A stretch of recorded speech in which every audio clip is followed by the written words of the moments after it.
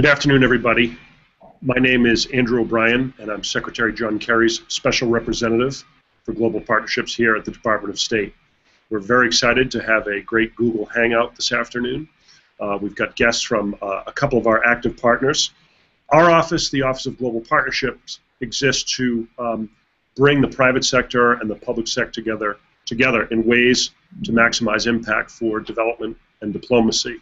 So today, um, we are with we have a great hangout. Um, and before I get into the people who are with us uh, on the screen, I wanted to let everyone know if you have a comment or a question, uh, you can post that at hashtag P3Impact. Hashtag P3IMPACT. Uh, let us know what you hear, what you want to talk about. We'll be here probably for the next half hour or 45 minutes.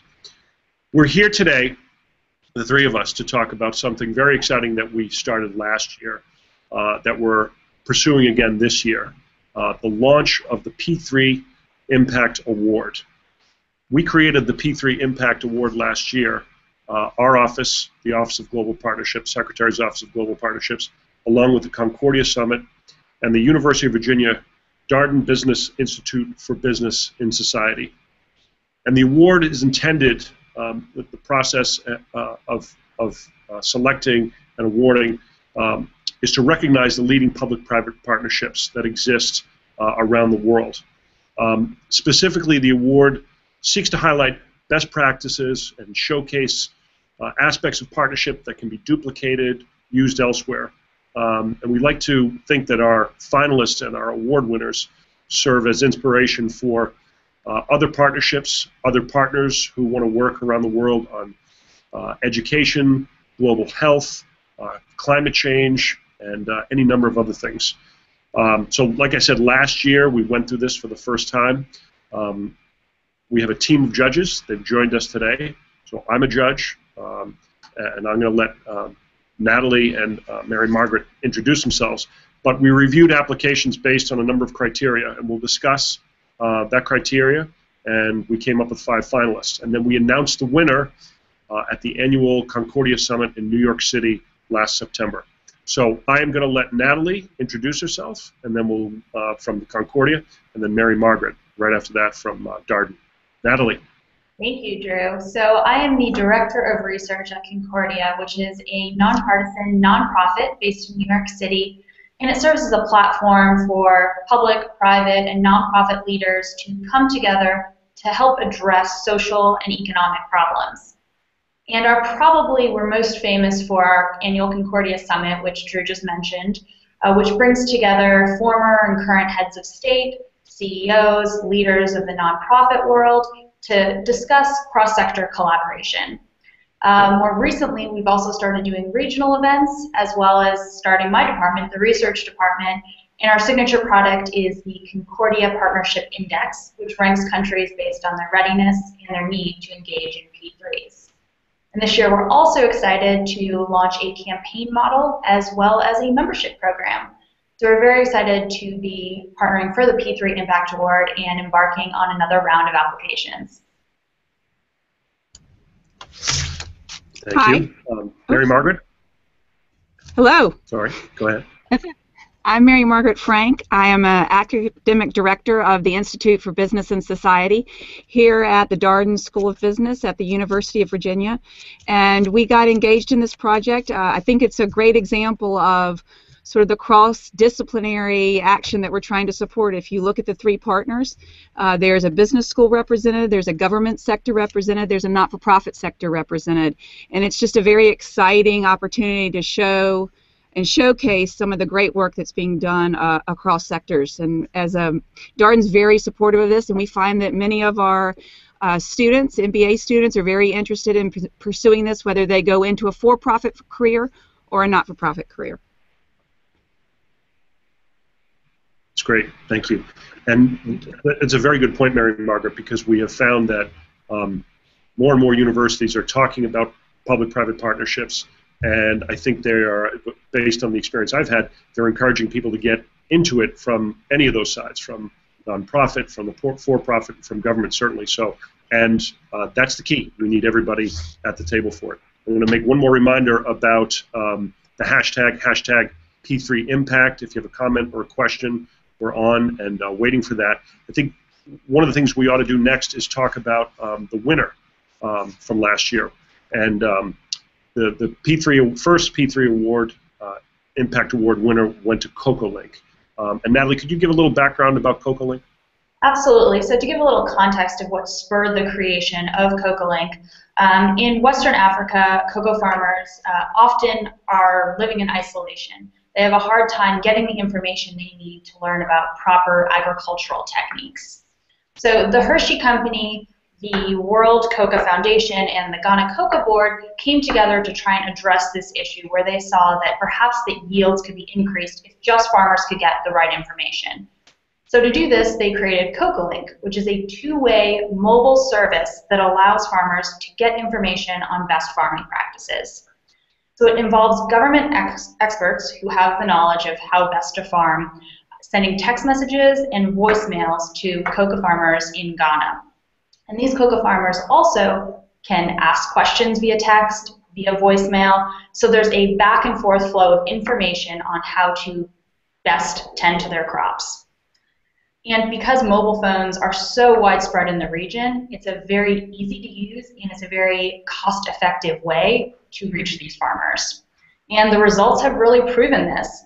Um, we saw that there were 45,000 registered farmers for CocoaLink and that there was a 45% increase of yields and a 70% increase uh, in farmers' incomes compared to farmers who are not using uh, CocoaLink. So it's a great example of government working together with a nonprofit, working together for a for-profit company to really, you know, it enhances the bottom line of Hershey because yields are increased, but also helps the communities and the farmers uh, with whom they depend. That's great, thank you. And I wanted to I wanted to point out um, since since we gave this award last fall, one of the things that we've seen in our office in particular is how this type of technology, the cell phone technology um, that links back, not only links um, people together in industry. So we're talking about agriculture. We've started to um, implement some things with partners from our office on, on fishing globally on this. So we've seen the, the cell phone is a remarkable uh, and sustainable business tool. So this was this was a lengthy process, and it was a very involved process. And um, I think we, we should probably, as judges, maybe take just a few minutes each to talk about um, what stood out for CocoaLink in this process and, and why you feel ultimately that uh, they were selected the winner. And Mary Margaret, I'm hoping that you might be able to do that first. Sure, I'd be happy to. So I think the first thing that really struck me about CocoaLink was how integrated it was in the supply chain. I mean, you can bring public par private partnerships together, but re what's really in my opinion, really exciting about them is how they create a bigger pie um, and how they share that pie. So the, there's a win-win for everyone. And I thought this one was a great example of how there was a need that was deep in the supply chain of Hershey. And they looked to build out their supply chain, but that also benefited the the growers or the cocoa growers as well as the community. If you look and um, women and children benefited from it. So it was a overall economic development that both helped Hershey deal with the increasing prices of cocoa, given the increase in demand, as well as helped the Ghana farmers. And it was in the supply chain. And I think that's one thing that as a business professor, I found very intriguing is how do we think about how we're constantly creating better value for all our stakeholders as we're engaging in our business and creating better a better business model. So I think that was one thing that struck me. And the other thing, uh, as an accounting professor, uh, what I always find very uh, heartening is when there is a measurement and our ability to measure the outcome. And I thought that this partnership did a great job of quantifying, thinking about the outcomes that they wanted, and measuring those so they could really begin to say, this is the type of impact we've had because then we're really able to move forward when we just say oh life got better that doesn't really help us think about how we could replicate it and think about how we might measure it and i really appreciated the time they had taken to articulate how they had had an impact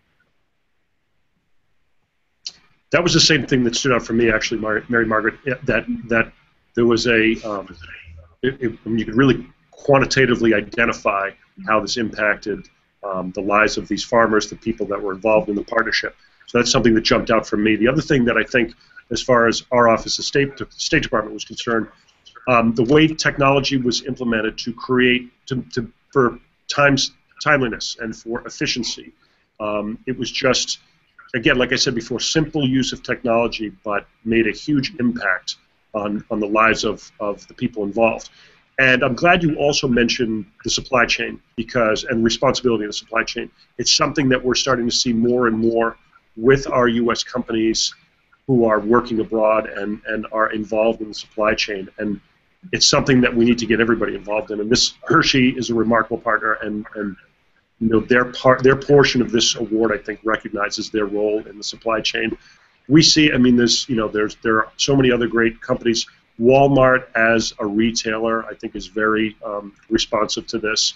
Um, and Paul Polman uh, from Unilever, the CEO, I think in a lot of ways, I don't want to just, I don't, I'm singling out a few at the risk of leaving out many, but Paul Polman, I think, has really pushed this discussion um, globally, and um, it's good to see a lot of people getting in line, and Coke uh, was very deserving of the award um, for that. So, Natalie, what about you? What do you think about the process? So, definitely agree with both of you that technology played a huge role in being able to leverage that technology, as well as building it into their core business, building it into their supply chain. What I think that really allowed them to do is one, make the program sustainable.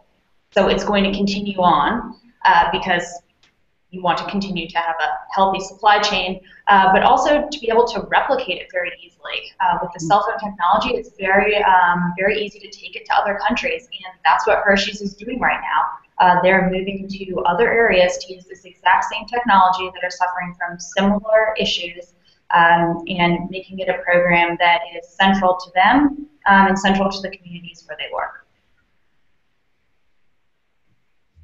Thanks, Natalie. Um, I think we're, we're at a good point now, um, since we've talked about the award. Um, I think we should talk about the application process. And, and as I mentioned, it, it was very involved, and I don't, I don't exactly recall, we might be able to figure that out, how many submissions there were to start with. Um, when we did narrow it down to the five, uh, to the finalists, you know, the, it's a cliche thing, but they, they were all winners in their own way, and there's a reason why they made it to the end. Um, so, Mary Margaret, can you talk about some of the other examples of don't have to talk about specific partnerships. You can if you want, but things that stood out um, that we might look for this year and years ahead when we're selecting the winner. Well, not with regards to the winners right now, but I think the biggest impact I had is this uh, English proverb necessity is the mother of invention.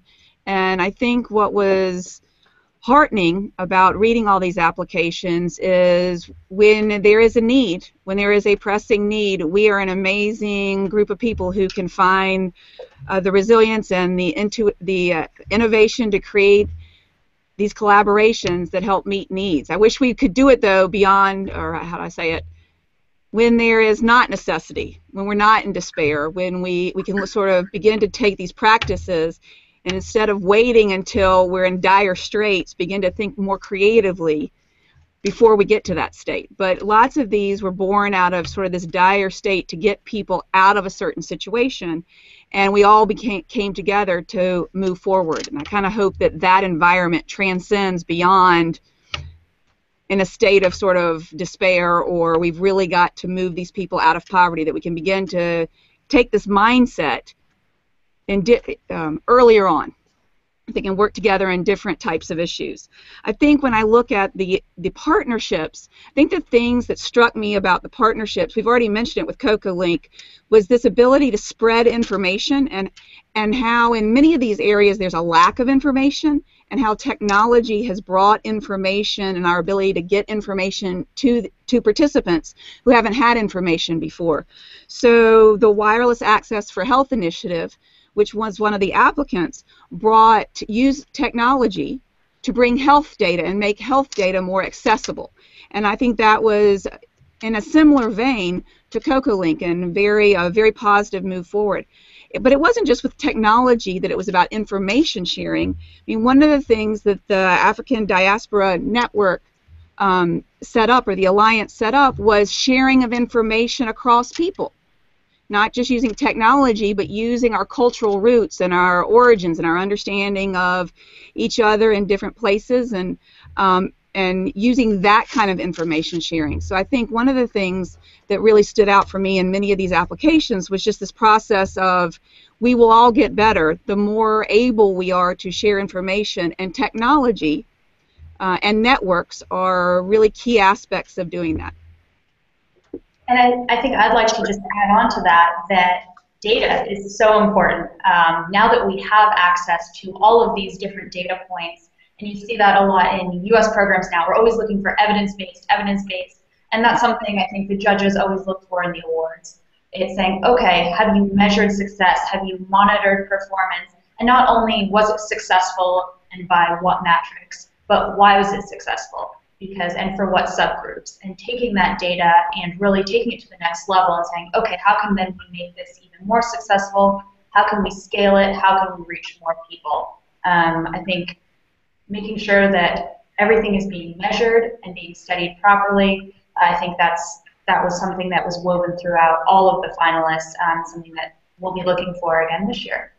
You know, it's interesting. I um, I think the other thing that many of these groups uh, had in common was this thrust or the support of um, entrepreneurship, and that's while we saw it globally in trying to encourage whether it was cocoa farmers or you know clean cook stoves or you know, just different types of entrepreneurial ventures. While we were encouraging these public-private partnerships, we're encouraging entrepreneurship in creative ways globally, it also made me think about how we could use these to encourage entrepreneurship in the United States as well.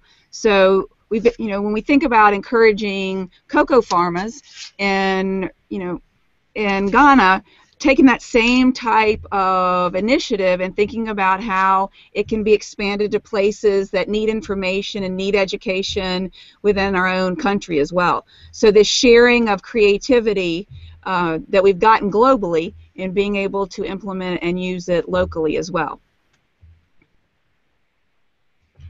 That's great, and I, you know, I would agree that um, you know when it comes to uh, the, the real success of public-private partnerships. It's data, data, data. It's outcomes, outcomes, outcomes. It's um, you know this that that enables us to grow existing partnerships, and it enables it gives us great models to start new ones. Um, and you know, I always like to say when we talk about um, to, to different groups or to, or to private sector and public sector partners about partnerships, um, you know, it's very much getting into it is a very inexact science. They come together for different reasons. Sometimes it's the public sector looking to the private sector for assistance. Sometimes it's the private sector coming back to us in the public sector saying, we want to help, where do we go? So, and that's just two very simple ways to look at this. So, what I what I struck me on um, on these uh, on the applicants and the finalists was was the diversity I think that we saw of issue area, um, education, technology, health, environment, so many other things. Um, so, so data, diversity, and partnerships. And then I think, again, it's probably the third or fourth time we've hit on this now, and Mary Margaret, you and I keep going back on it, but impact, um, real impact on, on people's lives, and um, and using that, I think, as a transformative experience for their economic and social future. I think um, those are things that stand out, and I think it's a very big deal. You know, I also like to say when you get into what I would call a true partnership, you know, there's different ways to say this, but I'd like them to not be lopsided. I'd like the sort of all the partners to bear parts of it equally, um, to come in with with um, mutual risks, uh, mutual benefits, accountability, transparency, to sort of be aware of all those things, uh, and to be that way not only to the, the outside world looking in, but with each other. So again, I think on on these. Um, on our finalists and on a lot of our applicants, we saw all of those things. So um, looking forward to another round of that this year. I think we are moving on to questions. Um, let's see. We have a question for me. Um, how can the private sector best engage? Um, they can reach out to us at the Secretary's Office of Global Partnerships, um, at the State Department. Um, you know, we, we have a, um, a wide range of needs out there. Um, you know, for the past several years that I've been in the position with the Secretary's office, we've continued some of the things that were started uh, under the previous Secretary, under Secretary Clinton, um, and then we've branched out into, into some other areas that were new, not just to, um, to the State Department, but to the government. We're looking at um, connecting people through an educational uh, exchange initiative that will be virtual. Um, so instead of sort of traditional going on the ground, um, visiting a country, um, we are connecting people using technology. Uh, we'll connect them student to student, classroom to classroom, teacher to teacher, and that's uh, an initiative, that, initiative that's named for Ambassador Chris Stevens. Um, something very exciting that we're moving towards um, our next phase on this year. We do a, a lot of diaspora engagement in our office and we use that for different ways to connect people economically, um, create entrepreneurship opportunities, mentorship opportunities. So this year, we're, we're doing a lot more work on global climate change. We're doing a lot more work on global health. Um, but those are just things where that the secretary is interested in pursuing. But if the private sector has an idea, private sector wants to engage, I, I please be in touch, and um, you know we're happy to plug you in. We want your ideas. We want your partnership. Did you have, um, Natalie, you want to say anything about that? I mean, you, you, you sort of deal with the private sector a different way. So um, Concordia also serves as a platform. Um, we've worked, you know, we bring together the public, the private, kind of serve as that neutral area where, you know, companies perhaps who haven't had as much of a chance to become involved in public or nonprofit matters uh, can feel safe to do so. Uh, also a great time to plug Global Partnerships Week, which Concordia is working with USAID as well as the State Department, which will be a celebration of partnerships starting on March 9th with a kickoff event at the State Department uh, with Drew's department. So go to p3.co and you can learn a little bit more about that. And actually, if you want to plan an event, become more involved, there's also ways for you to do that online. Natalie is so much better at public service announcements than I am, so thanks for doing that. um, slowly. the one of the things that um, one of the things that that our office has tried to do over the last year, um, and and Mary Margaret, I'm going to offer a thought on this. We have another we have another question about this. Offer a thought on this, but I wanted to. Uh, there's an obvious connect with you. We worked very hard this past year to bring universities into the equation in our office, and it was a little bit different than what had happened before. I like universities because they're a place of many resources, not just financial resources, but um, human resources, people with great ideas, um, an, an, atmosphere that, that allows wide open thinking. So, as part of our diaspora tour that we did this past year, we spent uh, of, of the 12 or so stops we did, I want to say eight or nine, maybe even more of them were on university campuses in the United States because they have built-in diaspora populations.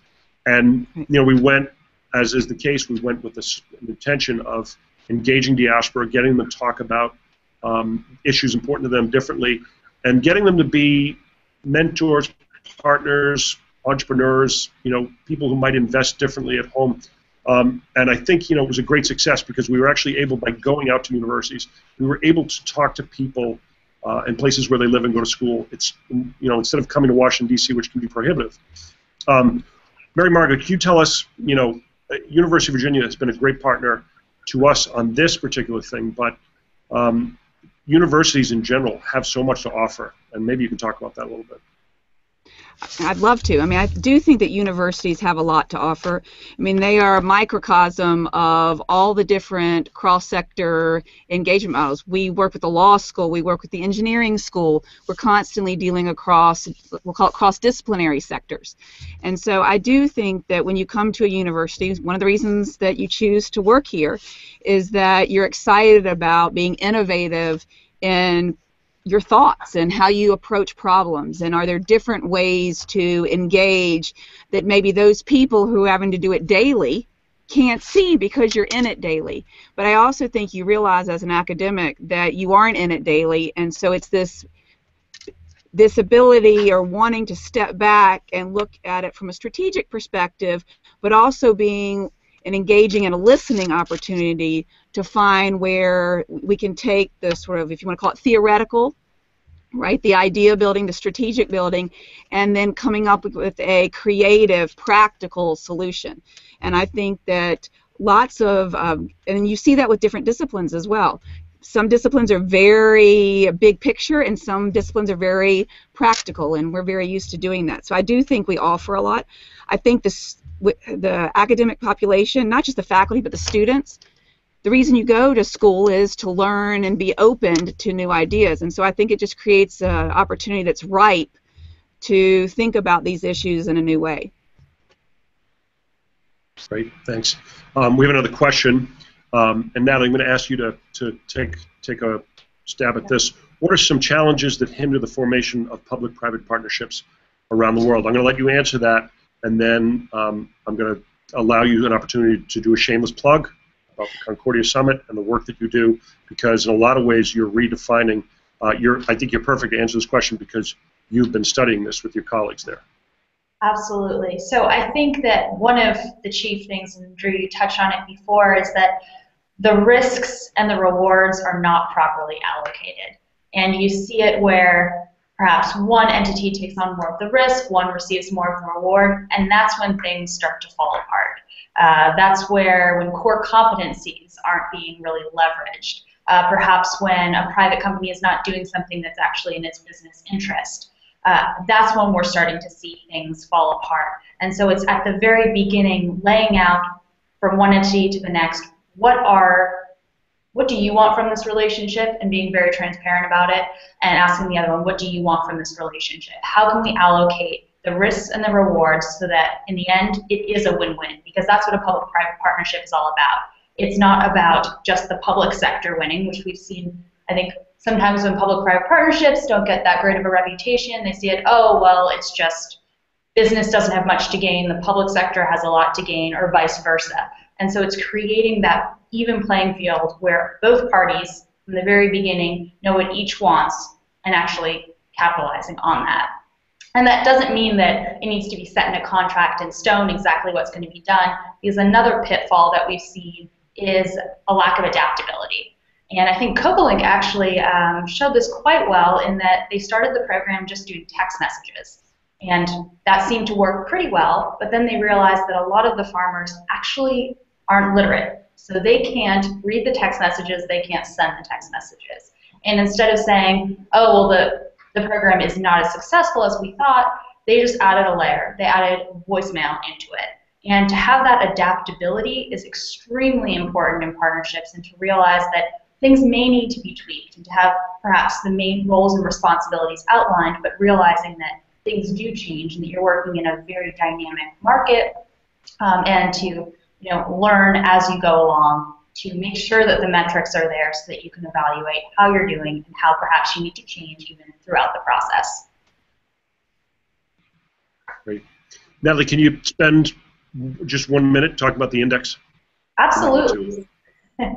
so the Concordia Partnership Index was started a few years ago, and we, what we wanted to do was to look at countries, their partnership environments. So what makes a country a good country to partner with? is are there political or market structures that make them protect, uh, particularly amenable to working with the private sector? Uh, so that was one layer, and we see that in a lot of just growth indices, investment indices. But then we added another layer, and that was looking at the need for countries to invest in infrastructure. Where are there gaps in traditional infrastructure? So looking at your roads and your bridges, but also looking at your software infrastructure, which now we're seeing more P3s in. And that's your education, your health, uh, financial inclusion. So which countries, first of all, are very accommodating for you know, business investment, that's looking at their political, their market structures, but also are those the same countries that really need the assistance? Are those those countries where there are infrastructure gaps? So this latest version of the index, which is released every year at the Concordia Summit in September, it ranked 37 countries uh, based on their partnership environments. It also produces more in-depth analyses of why certain countries ranked where they do, and so that investors can look at it, uh, different countries can see how they compare to other countries. And it's a very nice tool to at least see how these countries are doing, um, what do environments look like, what are good measures of a P3 environment versus a not so you know, P3 centric environment. Um, and we are going to be adding countries every year uh, so that eventually it'll be a much more comprehensive look at what makes a good partnership environment, what makes a good P3, and how can businesses become more involved in social issues. Great. One thing that I want to point out is um, for people that, that are just finding out or taking a look at public-private partnerships, this isn't always about money. This isn't this isn't the private sector giving money to the public sector um, on, on pet projects or anything like that. Some of the themes you heard today shared value, shared out, you know, desi- desired outcomes, similar des- desired outcomes, accountability, all of that applies here. A lot of times, partnerships take place and no money is involved. Um, you, you, align partners uh, around a shared goal. We had a discussion this morning with a health-oriented company. This is a good example, timely example, with a health-oriented company in the Caribbean Basin, and they want to expand their for-profit operation there. But the reality is they want to do some good and they want to help. They need some help uh, on where they might go geographically to make some some health impacts. And um, instead of going out and creating something, one of the first things we've started out to do is find out who's on the ground in the geography we talked about already doing this work and how do we plug uh, this organization in. So that's that's one example. That's a that's a non-monetary example of uh, of the public-private partnership. I think we're on our last time for last question, um, which is, do you offer any resources or tools to emerging or new public-private partnerships? I'll put my offer out again. If you're in the private sector or if you're in another part of the public sector, uh, if you're in foundation world, if you're a university, um, reach out to us at the Secretary's Office of Global Partnerships. Happy to have a discussion with you about uh, opportunities that exist out there. Um, so I've taken that question and I've turned it into my own public service announcement, and I'll let Natalie and Mary Margaret do the same. Natalie, go ahead. Absolutely. so at Concordia, obviously, we welcome all new partners. I mean, we have worked from different layers of government, whether it be at the national level down to the municipal level, uh, working with different businesses. And public-private partnerships have transformed over the past few years. Originally, you saw them, you know, like I said before, in the hard infrastructure. And so if you were a construction company or a utility company, that's where you thought you had um, a place in public-private partnerships.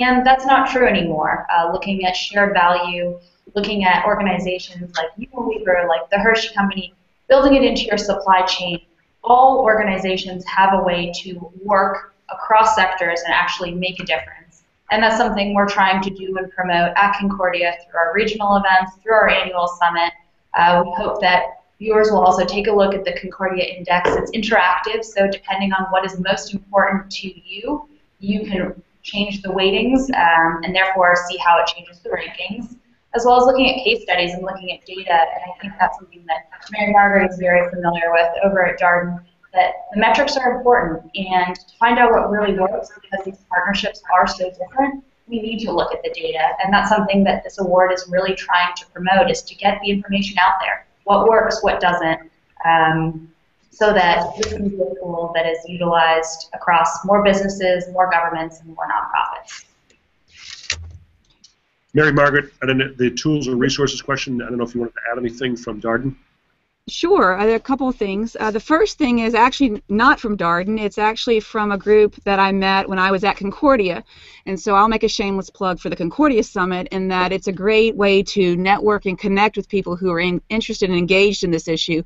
I met uh, a group called the Intersector Project, and they had developed a toolkit for thinking about how do you engage in public-private partnerships. They're on the web. You can Google the Intersector Project um, and engage in that. And that might be some place for you to start. So part of this is networking and being at the at being in, with people and talking to people who are engaged in that. So that's the first thing. I think the second thing would be we do write cases. We have written a case on one of the winners, or not the winner, one of the finalists, uh, the World Wildlife Fund and the Coca-Cola initiative with regards to water. Uh, so there is a case on that with which you can learn and search at Darden. But I'd also suggest as we look for the future, one thing to think about as we move forward is these partnerships are going to require a different type of leader. They're going to require a leader that can lead across sectors. And one of the things that we should be thinking about, and um, would love to engage with people and dialogue with people about this, is how do you create these cross-sector leaders? Um, and that's something I think we're going to need to move forward with. And with regards to the issues of data, one of the things that's hard about public-private partnerships is when you're it's hard to do research without data. And it's hard to do and it's hard to do research when you don't have a discipline. Most research is done in a discipline. It's done in engineering it's done in accounting it's done in finance it's done in sociology. And public private partnerships doesn't have a dis- discipline. And so one thing the academic community really needs to work on and needs help on is thinking about how do we create an a an academic discipline that can really promote some very structured, organized research that gives us really big insights into this area. That's great. Thank you very much. I want to thank Natalie from the Concordia Summit, and I want to thank uh, Mary Margaret Frank from um, Virginia University of Virginia Darden School. So um, the the hangout is over, but that means the application process is now open. Uh, the deadline to apply is April 30th, so you can go on to the details section of this Google Hangout page uh, and get the details there. Uh, so we're open for business, and uh, we'll see you in September at the Concordia Summit when you win. Thanks very much. Thank you, Drew. Thanks.